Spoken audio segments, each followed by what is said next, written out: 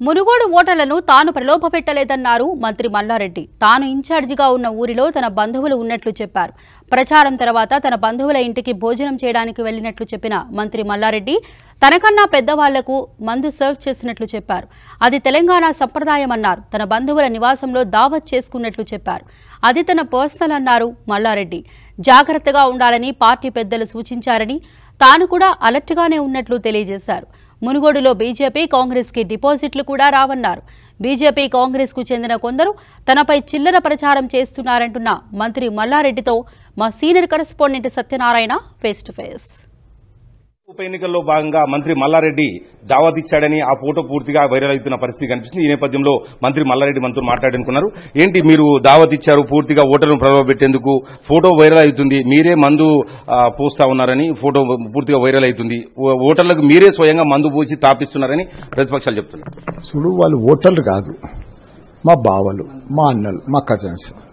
వాళ్ళ ఇంటికి నన్ను భోజనానికి రమ్మన్నారు. నేను ఎంపీ మినిస్టర్ అయిన చదివి కూడా అక్కడ పోలే. వాళ్ళ ఊరికి పోలే వాళ్ళ ఇంటికి పోలే. మొన్న ప్రచారంలో నాకు ఆ ఊరు తలిగితే మా ఇంటికి పోయినా రమ్మంటే పోయినా. వాళ్ళు ఆల్రెడీ సండే కదా దసరా తెల్లారి సండే కదా. అక్కడ ఊర్లలో ఎట్లుంటుందా మంచి మన తెలంగాణ సాంప్రదాయం ఎట్లుంటుందా ఏం చెడు సాంప్రదాయమా? మంచిగా అందరు కూర్చొని పెద్ద మనుషులు వాళ్ళు కూడా డెబ్బై డెబ్బై సంవత్సరాలు అయింది. మంచి వ్యవసాయదారులు. వాళ్ళు కూర్చున్నారు. నాకు బావలవరస అవుతారు అన్నవరస అవుతారు నన్ను కూడా పిలిచిండ్రు విందుకు పిలిచిర్రు భోజనానికి పిలిచిర్రు నేను పోయి కూర్చుంటాగానే ఎవడో ఆ ఫోటో పెట్టి బయటికి పంపించిండే. దాన్ని బీజేపీ వాళ్ళు కాంగ్రెస్ వాళ్ళు పెద్ద వైరల్ చేస్తారు. నాకు అర్థమైతలేదు అది ఫోటోలు. ఎవడైనా పర్సనల్గా ఇంట్లో కూర్చుంటే కూడా ఫోటోలు తీసి వైరల్ చేస్తారా? పోనీ ఎవడో పెట్టిండి పనికిరానోడు.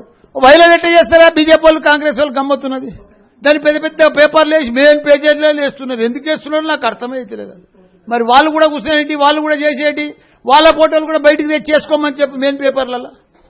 అనవసరంగా ఇదంతా పెద్ద దుర్మార్గం చర్యనే ఇది. మాకు డబ్బులు తీసుకుపోయి పంచే అవసరమే లేదు. ప్రజలే మా దగ్గర ఉన్నారు. ప్రజలే మా మీద నమ్మకంతో ఉన్నారు. డబ్బులు తీసుకొచ్చేదంతా బీజేపీ పార్టీ. ఆయన రెండు వందల కార్లు బుక్ చేసిండంట. రెండు వందల మోటార్ సైకిల్ బుక్ చేసిండంట. బీజేపీ వాళ్ళు పంచేతందుకు. ఆయన సర్పంచ్లను జడ్పీసీలను కొంటా ఉన్నాడు.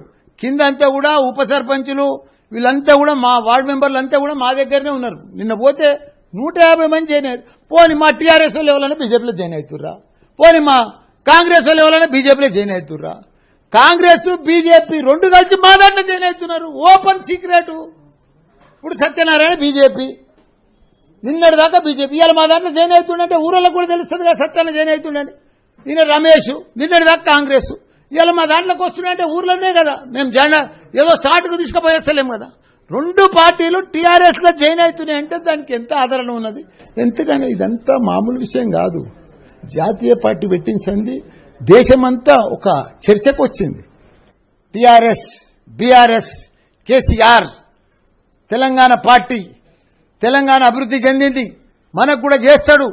ఒక నమ్మకం వచ్చింది. ఓ ఆశ కలిగింది. మనకు కూడా రైతు బంధు ఇస్తాడు దేశమంతా.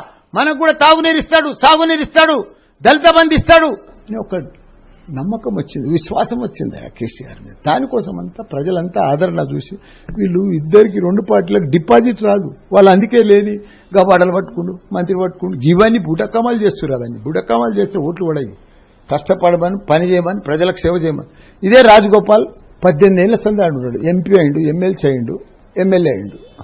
ఒక్క కళ్యాణ లక్ష్మి చెక్ పంపుతుంది పోలేవా? ప్రజలు ఒక రోడ్ వేయలే. ఓ లైట్ వేయలే. ఇనాగ్రేషన్కి పోలే. పద్దెనిమిది వేల కోట్ల మంచిగా కాంట్రాక్ట్ తెచ్చుకొని మొత్తం ఇప్పుడు నేను బీజేపీలోకి పోయి నేను మళ్ళీ నన్ను గెలిపి నేను డెవలప్మెంట్ కోసం వచ్చిన అభివృద్ధి కోసం వచ్చిన అంటే ఎట్లా నమ్ముతారు ప్రజలు చెప్పు? మునుగోడులో ప్రచారం చేస్తారు. ఎట్లా ఉంటుంది పరిస్థితి? చాలా భారీగా ఉంది. ప్రజలంతా కూడా టీఆర్ఎస్ పార్టీ మీద బీఆర్ఎస్ పార్టీ మీద నమ్మకం ఉంది. కారు గుర్తు మీద విశ్వాసం ఉంది. తప్పకుండా భారీ మెజారిటీతో గెలుస్తారు. ఇద్దరికి కూడా డిపాజిట్ రాదు.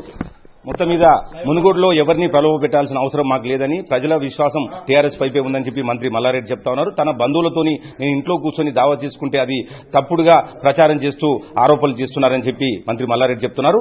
కాంగ్రెస్ అలాగే బీజేపీ కనీసం డిపాజిట్ కూడా రాదు. ఎగిరేది టీఆర్ఎస్ జెండా అని చెప్పి మంత్రి మల్లారెడ్డి ధీమా వ్యక్తం చేస్తున్నారు. Cameraman Prashanth Satyanarayana TV five Hyderabad.